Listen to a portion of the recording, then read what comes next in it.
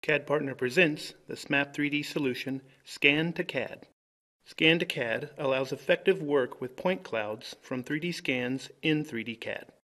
The underlying laser scanning and laser scanners used for this purpose nowadays offer the following features. An all-around visibility of 360 degrees with vertical visibility of 300 degrees.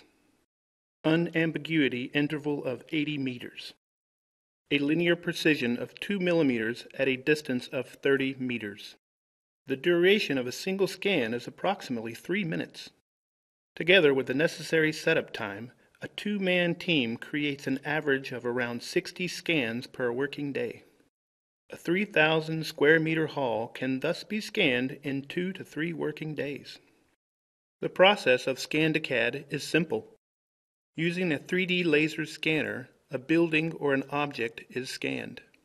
The resulting point clouds are loaded into Smap3D Scan to CAD.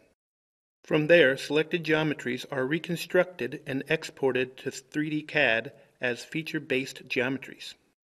The essential functions of Smap3D Scan to CAD are the analysis of 3D point clouds through effective reconstruction tools, the export of primitives from the point cloud into 3D CAD. The support of all common scanner formats and types like ASCII, Faro, Leica, Optech, Riegl, Topcon, Trimble, Zoller, Fröhlich, and E57.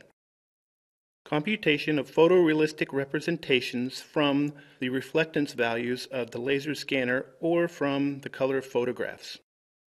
Fast and effective reconstruction of technological equipment designed for straight pipe runs, bends, valves, or branches. A free viewer.